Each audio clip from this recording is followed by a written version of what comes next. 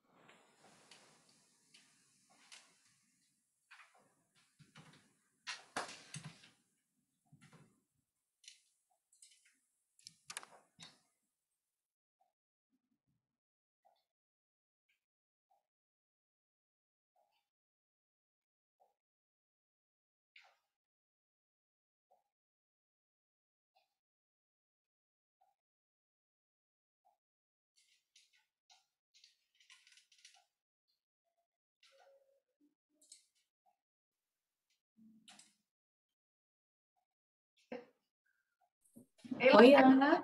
Tá bom, Tudo né? bem? Tô bem, graças a Deus. E você? Tudo bom. E aí, quem são as equipes hoje? Passar agora. Deixa eu abrir minhas planilhas aqui. Agora, nós temos, teremos a equipe 115 pelos recorrentes e a equipe 211 pelos recorridos. Aí, assim que eles entrarem, eu peço para eles se identificarem, a gente coloca aqui no chat a ordem de fala e o tempo, a divisão de tempo de cada um. E Tá. nos, ava- nos avaliadores, né, vão ser você, que é a nossa presidente, a Natália Mariel e o Luiz Paulo, que é advogado lá no é- Paraná, ele trabalha com E é Pereira. o RO que tem como parte o Chico e o partido B de um lado e do outro partido A, é isso? Não, são do- é o RO partido? do Chico e as contrarrazões do Partido B. Do partido B, isso. Tem como parte Chico e partido B, isso. Isso.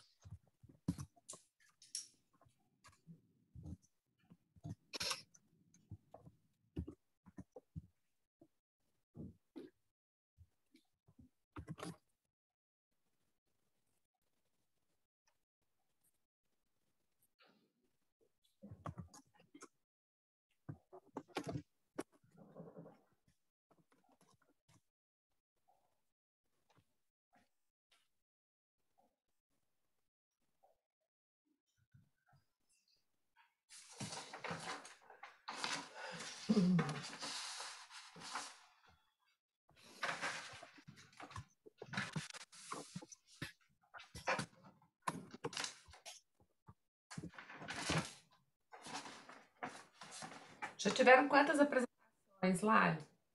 Hoje já tivemos quatro. Não. Sim, quatro. Oito e meia, nove e quarenta e duas às dez e cinquenta. E no total, quantas? Vão ser sete hoje, sete amanhã e depois quatro no sábado, das quartas de final. Que hoje e Ah, amanhã então são as é classificatórias. É, hoje é o Ah. primeiro dia.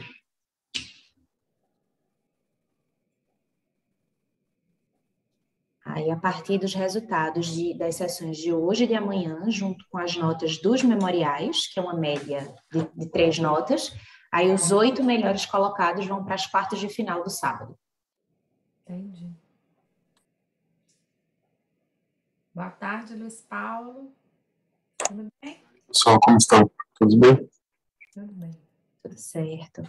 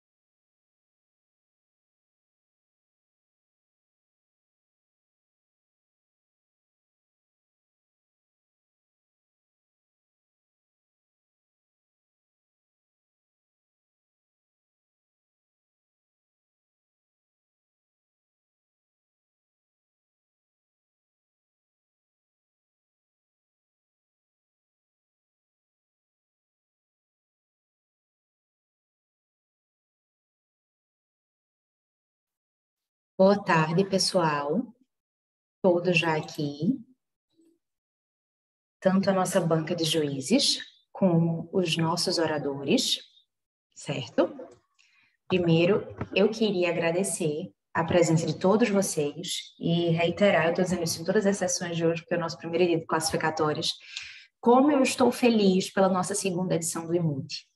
É, o direito eleitoral, digamos assim, ainda é o, a prima pobre, o filho rejeitado né, das disciplinas de direito público nas universidades. Eu fui uma, uma graduada da UFPB e tive a sorte de pagar direito eleitoral ainda na graduação, mas sei que isso é raro. Estamos todos muito felizes com a decisão recente da OAB de inserir direito eleitoral na prova da ordem, mas é importante que todos saibam que a ideia, né, a, o, o impulso para o surgimento do IMUT foi justamente impulsionar os estudos e a produção de conteúdo intelectual sobre o direito eleitoral e treinar os futuros juristas eleitorais, sejam servidores, advogados, juízes, mas aqui nós estimulamos a, a atuação e a performance a partir da perspe perspectiva de um advogado que atua em cortes superiores, certo? A, o nosso funcionamento é como o das multicortes americanas. Nós simulamos uma sessão oral do TSE com algumas adaptações.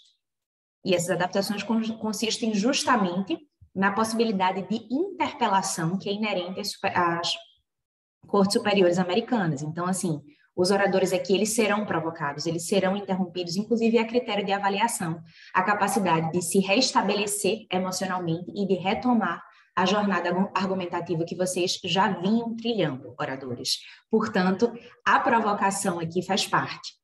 Nossa banca de juízes de hoje será presidida pela doutora Ana Márcia e terá também a doutora Natália Mariel e o doutor Luiz Paulo.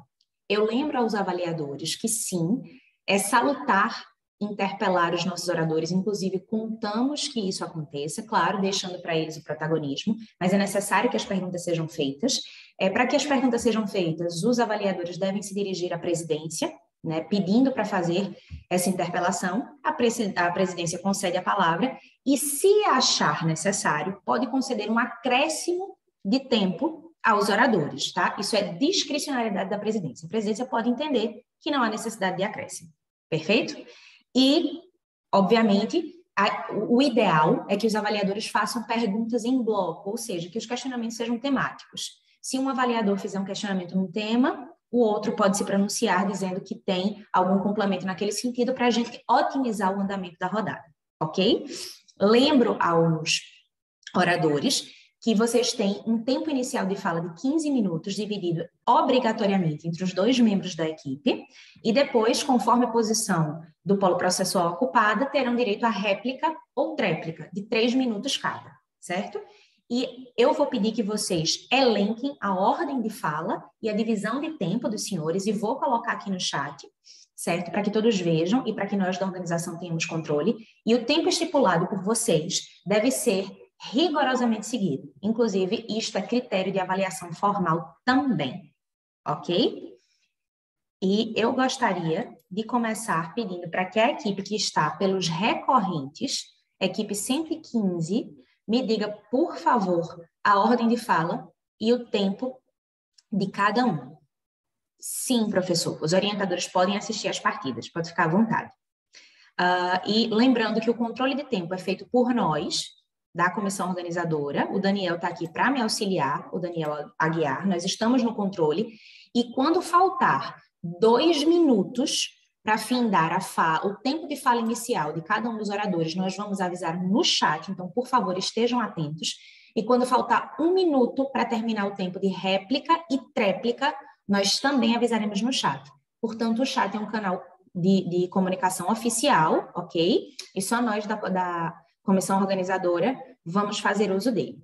Agora, eu queria que, por favor, os oradores da equipe 115 se manifestassem, dissessem a ordem de fala e a divisão de tempo entre vocês, bem como qual dos oradores ficará responsável pela réplica. Boa tarde, Excelência. Nós da equipe 115 dividimos o tempo em sete minutos para as minhas falas iniciais e, em seguida, seguiremos com oito minutos para a minha colega Mariana Acchio. E aí ficaremos com a réplica com a doutora Mariana também. Ok.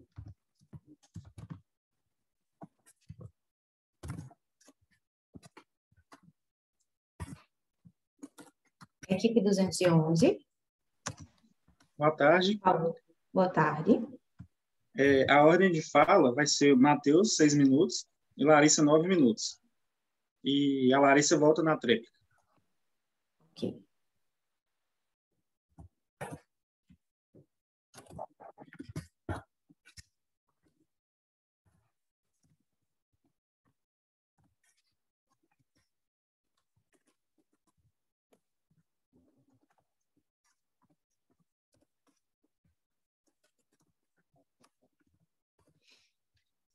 As informações já estão colocadas no chat para acompanhamento de todos, certo?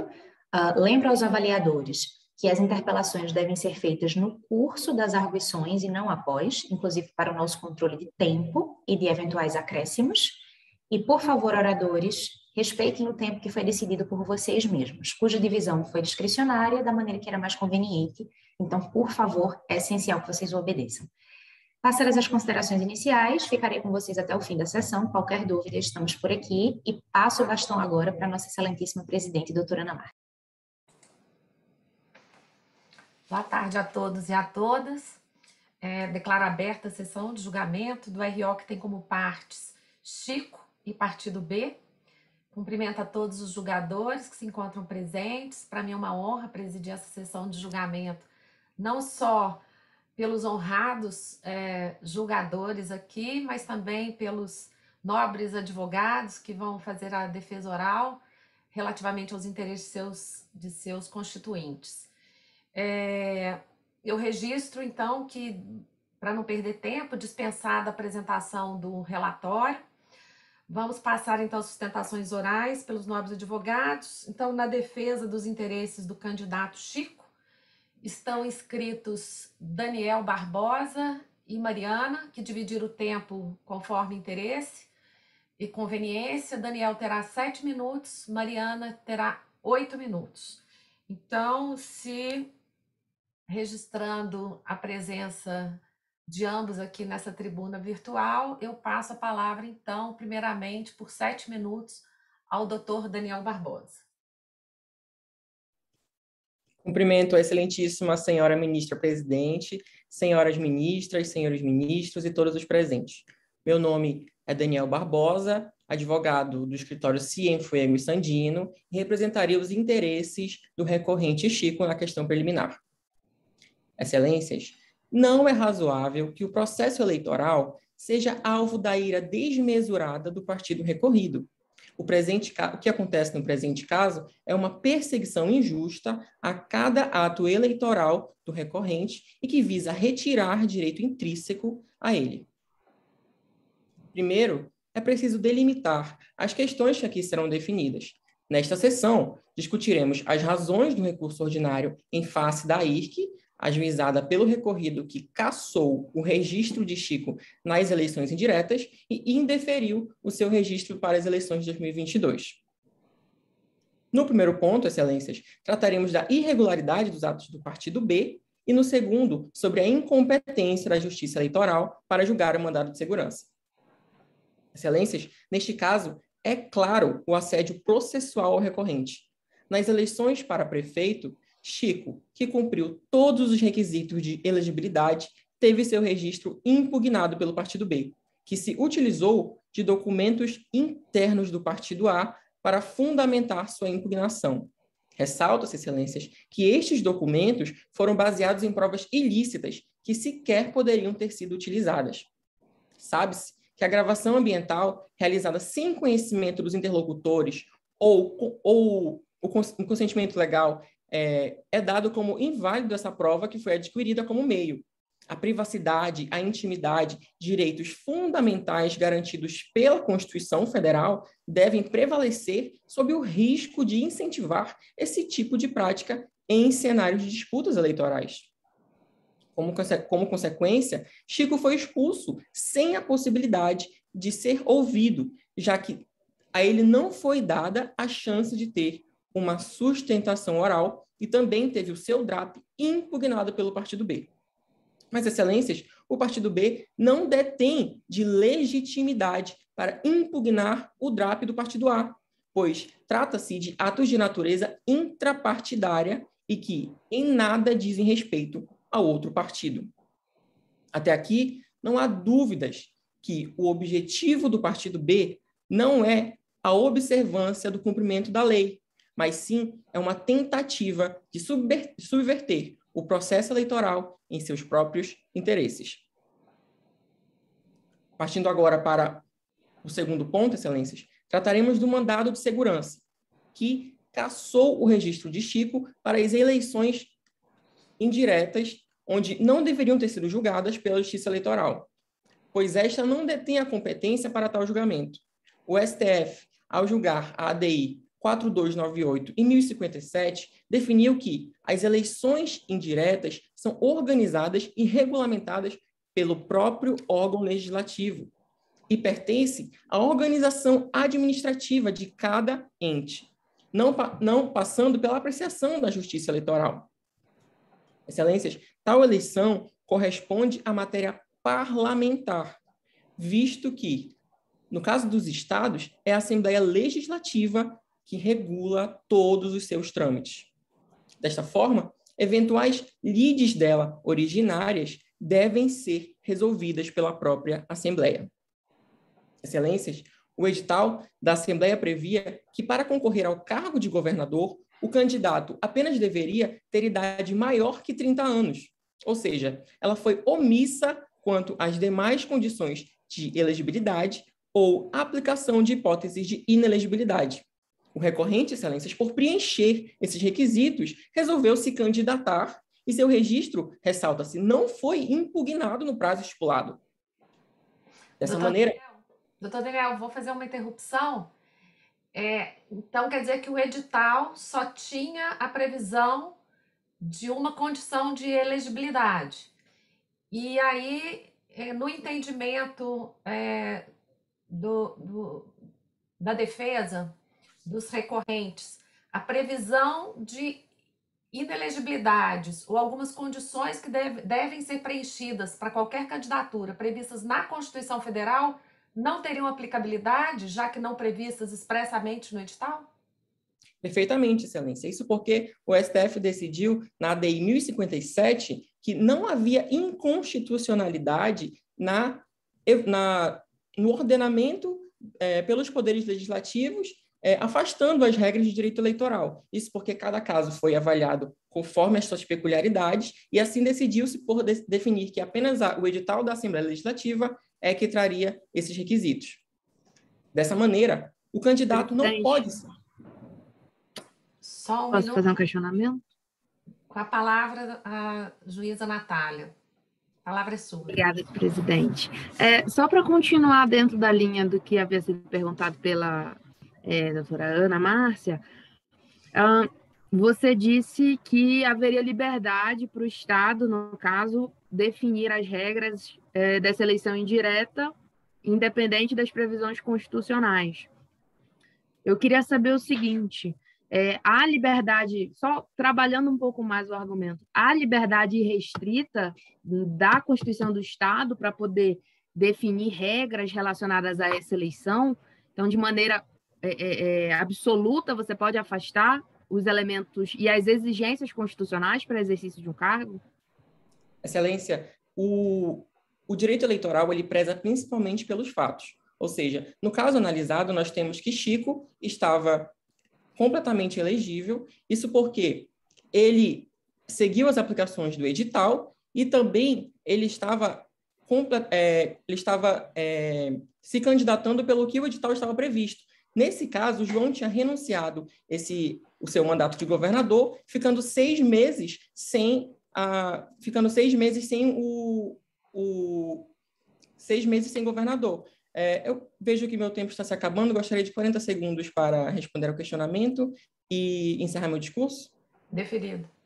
Obrigado. Vendo que Chico estava elegível, seguindo seu, sua, as, as, as, os requisitos que o, editado, o edital estipulou, ele se candidatou e ele também, o cargo foi desocupado seis meses antes. As eleições ocorreram 30 dias depois, ou seja, nesse, nesse caso de um requisito de inelegibilidade seria a desincompatibilização, ele nesse momento não teria como cumprir, até por causa do tempo, já que, conforme o edital, o único requisito era ter 30 anos. Dessa maneira, Excelência, o candidato ele não pode ser prejudicado por omissão, devendo ser considerados os requisitos de elegibilidade expressamente descritos, desconsiderando os demais. Ainda, pelos motivos expostos, é necessário que seja dado provimento ao recurso ordinário para anular a decisão do mandado de segurança e reformar a decisão na ação de impugnação do registro de candidatura. Muito obrigado. Muito obrigada, doutor Daniel. Passo em seguida, então, a palavra para a doutora Mariana, que terá o prazo de oito minutos. Cumprimento, excelentíssima senhora ministra presidente, ao ministro relator, às, senhoras ministras e o senhor ministro aqui presente e os demais que também se encontram. Meu nome é Mariana Aquio Abraão, sou advogada do escritório Sinfuegos e Sandino e represento os interesses do recorrente nas questões meritórias. Demonstrarei que é plenamente possível o recorrente ser candidato à reeleição na governador no pleito de 2022. Irei mostrar que não há vício nenhum em a sua candidatura, visto que não há necessidade do recorrente se desincompatibilizar de seu cargo de prefeito, nem para eleição indireta e nem para eleição direta de 2022. Posteriormente, no meu outro ponto, demonstrarei que não cabe a inelegibilidade por parentesco na reeleição do recorrente. Em relação à desincompatibilização, esta é a exigência feita para, os presidentes do, para o presidente do, da República, os governadores de Estado e Distrito Federal e os prefeitos, determinando que estes devem renunciar os respectivos mandatos até seis meses antes do pleito, conforme preconiza o artigo 14, parágrafo 6 da Constituição Federal. No presente caso, é possível notar uma excepcionalidade. A renúncia de João coincide com um período padrão de desincompatibilização para os chefes do executivo. Todavia, diante de sua renúncia, foi necessário a realização de eleições indiretas. As eleições indiretas são um fenômeno excepcional, sendo fundamental se destacar que já é entendimento firmado pelo STF que, no caso da dupla vacância não eleitoral, os estados e municípios possuem a legitimidade para legislar sobre eleições indiretas, sem obrigatoriedade de reproduzir o texto da Constituição Federal. A exemplo, tem-se a DPF número 969 de relatoria do ministro Gilmar Mendes. A Constituição do Estado previa o procedimento a ser votado na ocorrência de dupla vacância para governador e vice-governador. Logo, adotou-se o procedimento adotado na Constituição Estadual. As assembleias legislativas são responsáveis pela formação do edital de convocação, que tratará a forma como ocorrerá a eleição, bem como os requisitos para os interessados se, se candidatassem. No presente caso, o único requisito exigido era que o candidato tivesse mais de 30 anos, o qual o recorrente preenchia. Portanto, este podia se candidatar à eleição indireta. Ressalta-se que, neste momento, não houve nenhuma impugnação à sua candidatura. Logo, o, a, o seu nome foi levado a deferimento. Aliás, a própria exigência de desincompatibilização para se concorrer nas eleições indiretas é ilógica, visto que a eleição indireta é um evento excepcional, cuja ocorrência, na presente situação fática, somente se deu diante da dupla vacância ocorrida nos últimos seis meses, decorrente da renúncia de João, não podendo o cargo de governador ficar vago por esse período. Daí a urgência da eleição para preencher o cargo, sendo incompatível a ocorrência da desincompatibilização nesse cenário. O, pró o, próprio TSE possui entendimentos no quais se admitiu, em sede de eleições suplementares, a mitigação de prazos de desincompatibilização. Estados como a Bahia, Tocantins e recentemente o Alagoas passaram por situações semelhantes. E um ponto em comum entre essas situações é que em todas elas o Supremo Tribunal Federal entendeu ser lícito o Estado decidir sobre a dupla vacância, cabendo o edital de convocação ser feito pelas Assembleias Legislativas. Desta forma, fez a Assembleia no presente caso.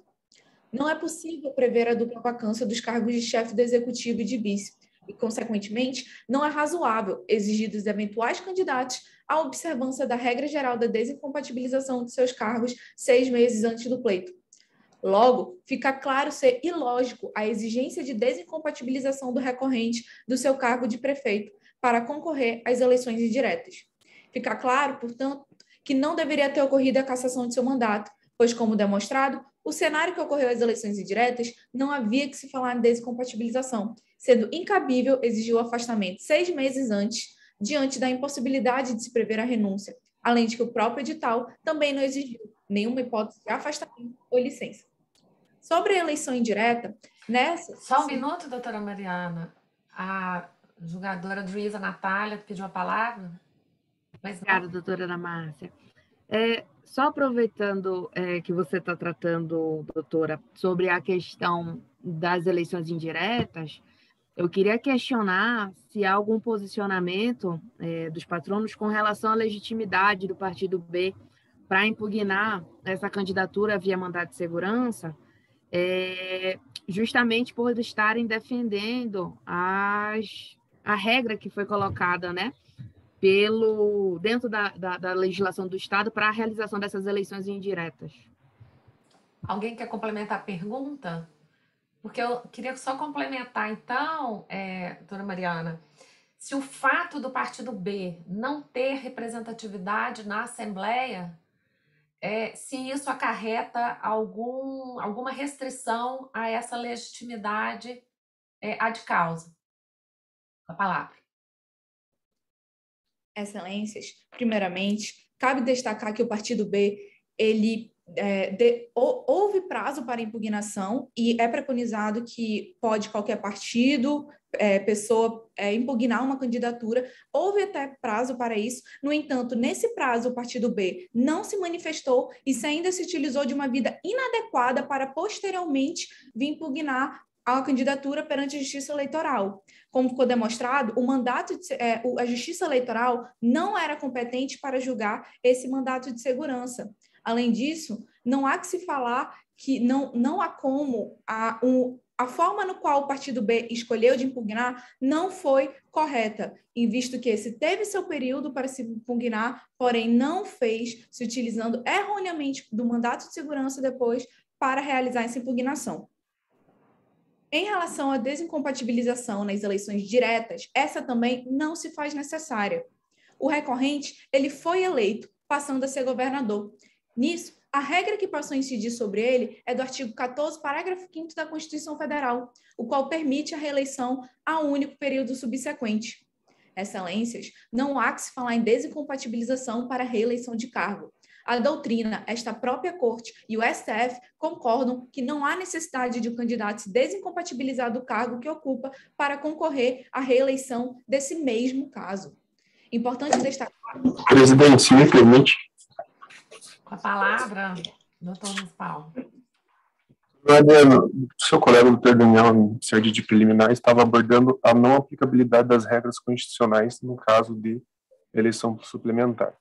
Eu estou observando que agora, em sede meritória, primeiro foi abordado o entendimento do TSE da relativização desses casos previstos constitucionalmente, e agora eu percebi também a citação do artigo 5 da própria Constituição a respeito do caso concreto.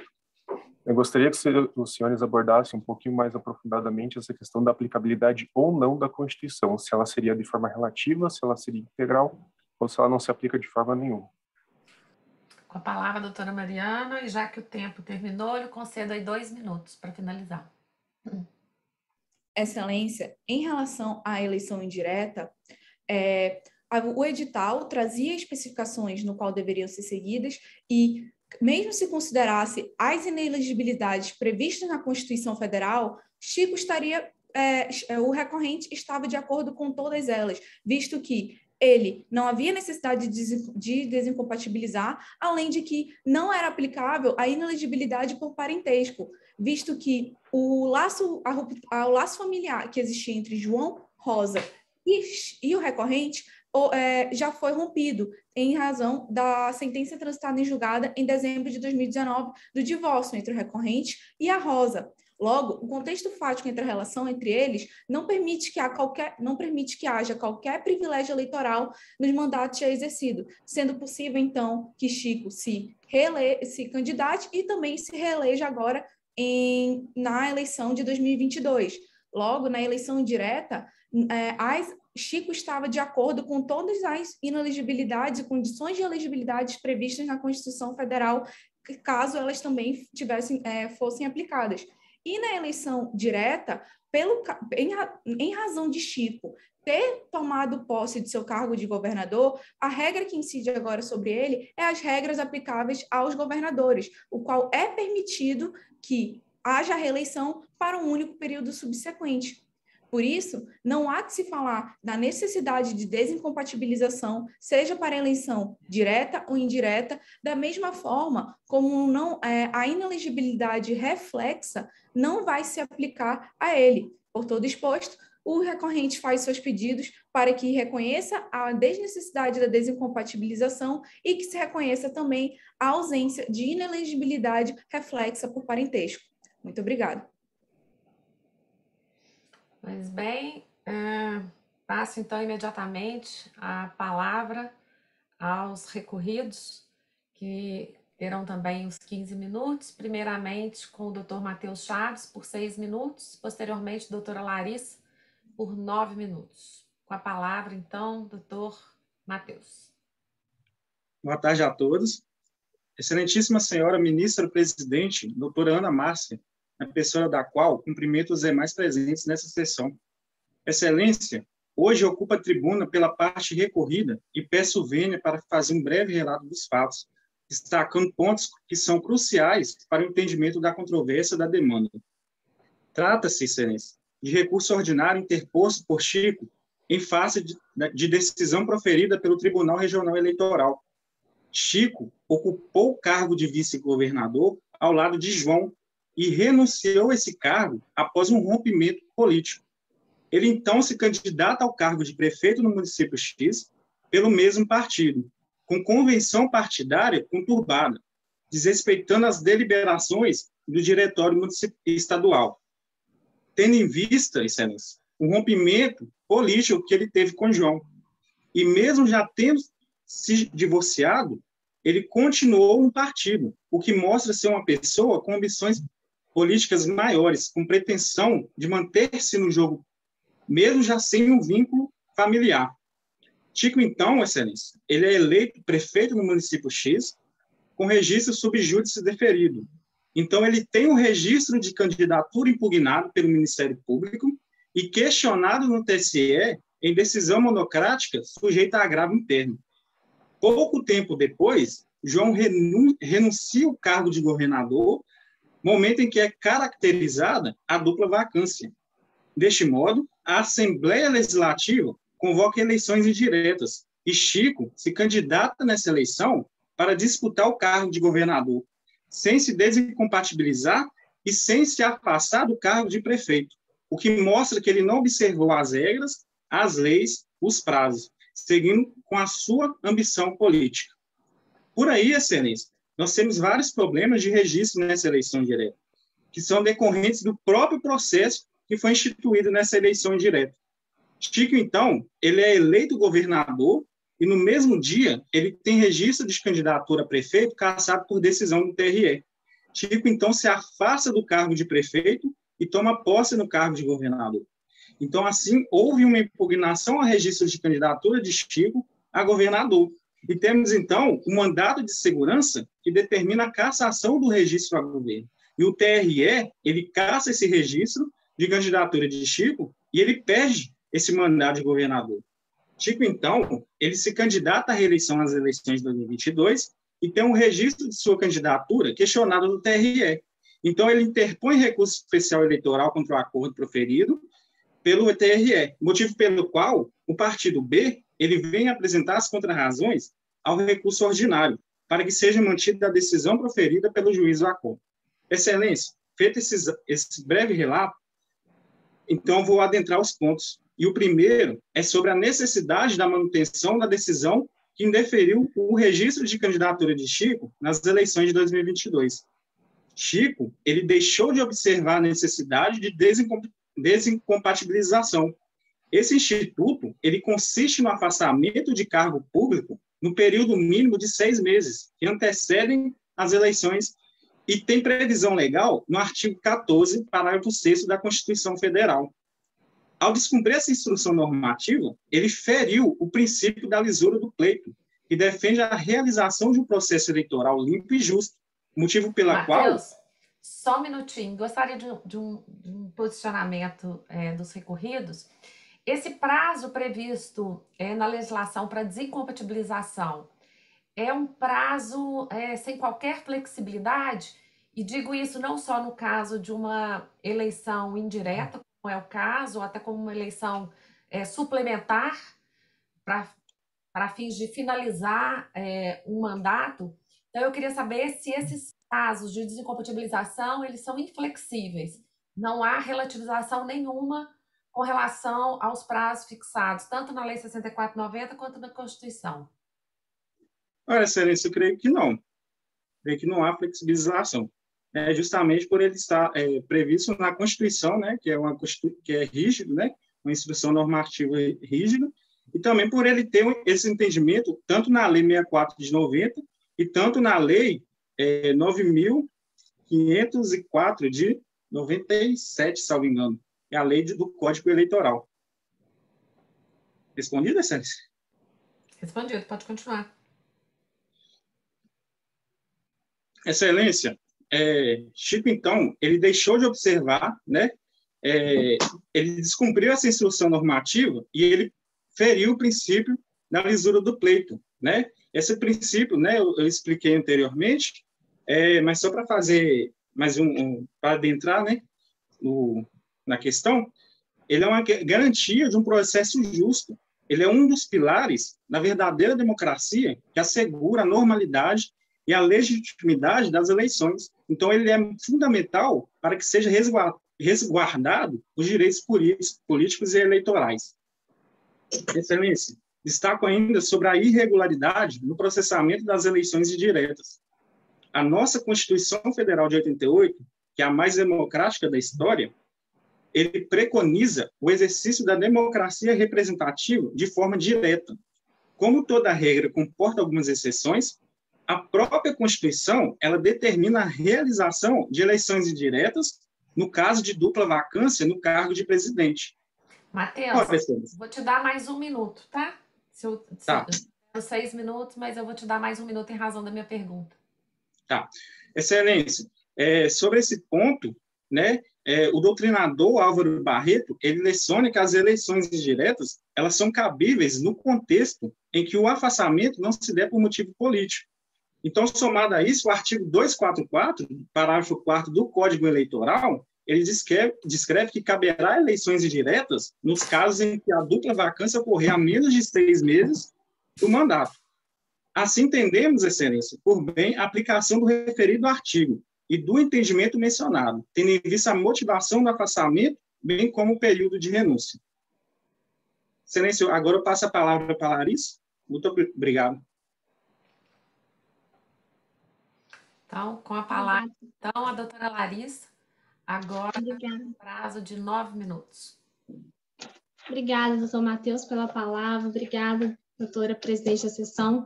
É, cumprimento aos advogados, servidores e demais presentes na pessoa da ilustre presidente da sessão, doutora Ania Márcia Mello. Hoje eu ocupo a tribuna pela parte recorrida, juntamente com meu colega, doutor Matheus Chaves. Matheus Chaves, e dou continuidade, então, à sustentação com os outros argumentos pelo qual os recorridos pugnam pela manutenção da decisão. Excelências, há ainda de se destacar a irregularidade em convenção partidária. Nos termos do artigo 87 do Código Eleitoral, existe a necessidade da filiação de partido para que o candidato possa ser eleito. É uma das condições de elegibilidade. Assim, a formação, a Constituição Federal garante aos partidos políticos uma liberalidade na formação, de forma que eles podem deliberar sobre a sua organização e a sua administração. No entanto, nós temos. Só um minuto, doutora Larissa. A doutora Natália quer fazer um questionamento. Obrigada, presidente. É... Boa tarde, doutora Larissa. Você, só pegando esse gancho, você sustentou a questão da filiação partidária ser uma condição de elegibilidade. É, qual seria o momento adequado para análise dessa, dessas condições de elegibilidade, né? É, e outra, esse momento, há, há, uma decadência desse prazo, desse momento, ele pode ser analisado posteriormente por, alguma, por algum fator superveniente? Excelência, muito obrigada pela, pela pergunta. É imprescindível que as condições de elegibilidade sejam analisadas no ato da candidatura. e esse prazo, ele é, no, no, no, caso, o momento, ele é inflexível, porque é algo que tem que ser analisado de maneira prévia. Antes do registro de candidatura, é algo que tem que ser analisado, como foi algo que deixou de ser analisado nesse momento, desencadeou aí as impugnações ao registro de é, candidatura. Eu vou fazer, eu vou dando continuidade a esse questionamento da doutora Natália, doutora Larissa, porque esse é um RO que se refere às eleições gerais de 2022, que o Chico estaria concorrendo à reeleição. Uhum. Aí a, a, a parte recorrida traz aí o problema relativo à filiação que foi questionada lá quando ele foi candidato a prefeito e posteriormente até quando ele foi candidato na eleição é, indireta. Então eu queria saber em que momento essa filiação que foi questionada, quando ele foi candidato a prefeito e nas eleições indiretas, qual é o efeito, o impacto disso na reeleição dele, agora na impugnação ao registro né, é, dele, nas reeleição, na suposta pretensão de reeleição em 2022? Olha, Excelência, nós entendemos por bem a necessidade de tratar desse tópico em virtude da cassação do registro de candidatura a prefeito, que é um ponto que é, é questionado também é, nos recursos. E a falta do afastamento do cargo de prefeito e a não observância do critério de desincompatibilização, no nosso entendimento, é algo que contamina a reeleição aí e o histórico desse candidato. Por isso, nós entendemos por bem é, a tratativa desses pontos nas contrarrazões do recurso. Tá, pode continuar, eu vou te dar dois minutos aí em razão dos questionamentos feitos. Ok, muito obrigada. Pois bem, excelências, no caso em tela, deixaram de ser observados alguns pontos que são cruciais, como, por exemplo, a inobservância do quórum para votação e também a ausência de publicação do edital. Então, nós temos aí que, além de não ter sido observados os critérios de votação, não foi concedido aos demais participantes, aos demais componentes do partido político, a oportunidade de tomar ciência daquele processo de escolha de um candidato para a candidatura. Além do mais, é necessário destacar que deve se aplicar uma eficácia, uma, um parâmetro de eficácia eficácia horizontal dos direitos constitucionais para assegurar princípios como a isonomia, a igualdade, de forma que todos os ocupantes de um partido político deverão ter as mesmas oportunidades e serem submetidos aos mesmos critérios para poderem disputar é, as eleições.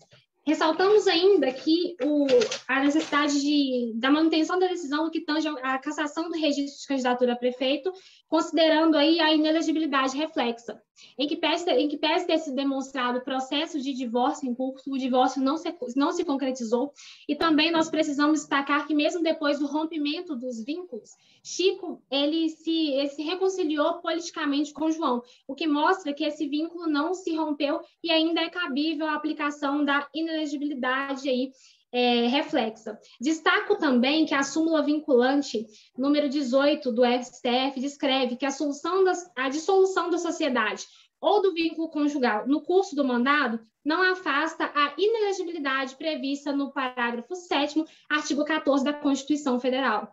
Ainda o critério... Então, só um minuto, doutora Larissa. Então, assim, já que né, é, foi feita essa ponderação, então vocês querem dizer que o fato de cunhados voltarem a ter uma amizade, isso poderia colocar em xeque a validade do próprio divórcio que foi realizado?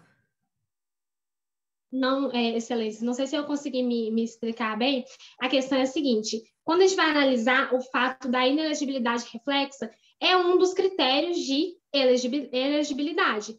Então, a gente vê aí uma, uma falha no processo da candidatura dele de prefeito, considerando que, na data da candidatura, ele ainda mantinha esse vínculo com o, o João no partido político. Então, nós entendemos por bem destacar esse ponto, porque em uma análise aí do direito constitucional, do direito eleitoral, e para a garantia de um efetivo e justo processo eleitoral e democrático, a Constituição prevê esse Instituto da Inelegibilidade Reflexa justamente de modo a incentivar e fomentar a rotatividade de grupos políticos no governo.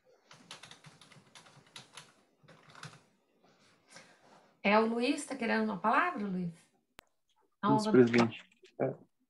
Aproveitando o ensejo, eu gostaria de perguntar para a doutora Larissa se ela acredita que o entendimento do TSE a respeito da separação de fato ou da existência de, de políticas opostas, de, de rivalidade política entre, então, casados no papel, teria algum tipo de influência nesse caso concreto? Doutor, eu, é, excelência, eu acredito que, que tem, sim, é influência e, justamente, eu ressalto aqui, a gente observar a, o, o, contexto em que a norma foi criada e, principalmente, a efetividade que ela busca alcançar. Então, aqui, só destacando mais uma vez, que eu não sei se, se eu consegui é, transparecer assim, mais é, é, clareza na minha fala, a questão em si não é o fato do divórcio ou a existência de vínculo aí é com a de manutenção ou não do vínculo. O que a gente quer demonstrar é o seguinte: quem que pese tenha se rompido, porque a Constituição ela veda a é, ela veda a elegibilidade na situação em que existe grau de parentesco. Ou seja, mesmo depois do divórcio aí, de, de, da separação de fato, a separação de fato é sim importante no direito, até para as questões lá que envolvem a respectiva área, mas em que pese a separação de fato, o que nós tentamos demonstrar é que a existência de vínculo se manteve, e não só um vínculo aí familiar, um vínculo de amizade, mas sim um vínculo político que pode influenciar sim nessa confusão de interesses e na manutenção de pessoas no, nos cargos públicos que mantenham ali é, interesses pessoais em conflito com o seu interesse político e nós acreditamos que pode sim prejudicar o exercício aí da representatividade e a defesa dos interesses da população. Respondido, doutor Luiz Paulo? Sim, obrigado, presidente. Pode Agradeço pelo questionamento. Então, caminhando para o fim da minha fala, excelências, eu quero levar os senhores à, à reflexão que nós temos aí uma controvérsia, né? Nós buscamos aqui resolver essa controvérsia através da tratativa do mérito dessa demanda. Então, a reflexão que eu quero trazer é que talvez a melhor medida seja que a gente analise os critérios de razoabilidade e de proporcionalidade para entender todo esse contexto fático que foi apresentado e que foi submetido ao julgamento dos senhores. Para que a gente pense se é razoável manter um candidato que apresentou tantos indícios de desqualificação no pleito? O que, que é melhor? A gente garantir a lisura do pleito ou garantir o acesso a determinado candidato aí à sua manutenção é, no cargo público. E termino por fim pugnando para que, sejam para que seja julgado improcedente esse recurso, com consequente manutenção da decisão recorrida. Obrigada, doutora Larissa. Agora eu passo a réplica para a doutora Mariana. Excelências, o que se discute aqui é o recurso ordinário que visa garantir a possibilidade de Chico se candidatar à reeleição. O partido B, a todo momento, fica, demonstra a sua clara intenção: é perseguir o Chico em todas as esferas. Em relação à desincompatibilização, esta, não, esta admite sim ser flexibilizada. Inclusive, esta própria corte possui entendimentos no qual se admitiu, em sede de eleição suplementar, a mitigação de prazos de desincompatibilização. A exemplo, o agravo regimentar mandato de segurança número 57264, de relatoria do ministro Marcelo Henrique Ribeiro de Oliveira, Além disso, a desincompatibilização ela não era necessária, tendo em vista que, para as eleições diretas, ela era totalmente inviável, não sendo necessária, e em relação às eleições diretas, Chico já estava ocupando o cargo de governador, e por, e por buscar a reeleição deste mesmo caso, não há por que ele se, re, se afastar do cargo o qual ele está é, buscando a reeleição. O outro, vários outros momentos ficam claros no, a perseguição do partido B em relação à recorrente. Quando se alega a irregularidade na convenção partidária, o partido B está se envolvendo em questão o qual não é de sua competência. Não é legítimo, por parte dele, tratar dessas questões. E ainda querer sustentar que, após o divórcio, com uma sentença transitada e julgado, o fato de Chico ter permanecido no partido ou posteriormente é, ter se reconciliado com João demonstraria o vínculo com ele se existente, excelências, essa argumentação ela não cabe, tendo em vista que Chico continuou no partido, pois ele tinha interesse na vida política Da mesma forma, ele se reconciliou com João, pois, os, eh, pois os, eles detinham o mesmo interesses políticos, não havendo mais qualquer nenhuma relação familiar entre o recorrente João e Rosa. Logo, fica claro que todas as argumentações trazidas pelo partido B não merecem prosperar. Muito obrigada. Com a palavra agora para a tréplica, doutora Larissa. Agradeço, Excelência. Conforme restou demonstrado, o candidato ele está muito bem acompanhado de defesa técnica e tem ciência de todos os seus atos que foram praticados. E restou demonstrado, Excelências, a existência de inúmeras irregularidades nesse processo eleitoral. Há de se falar que o partido ele tem sim legitimidade no termo do, nos termos do artigo 3 da Lei Complementar número 64 de 1990 para poder impugnar registros de candidatura ou itens correlacionados. Há também ainda, excelência, de se é, ressaltar que existe questionamentos acerca das eleições indiretas sendo que a regra para a garantia da ordem democrática e da democracia representativa são as eleições diretas. Nós mencionamos aqui o artigo 244, parágrafo 4 do, do Código Eleitoral, que descreve a possibilidade de, de eleições indiretas nos casos em que a renúncia acontecer num período, no período final de seis meses do mandato. Então, até mesmo a realização das eleições indiretas para o, para que fosse assumido o cargo de governador são questionáveis. E a gente destaca ainda a, a, a DPF do 969 do STF, onde deve-se aplicar normas eleitorais em eleições indiretas.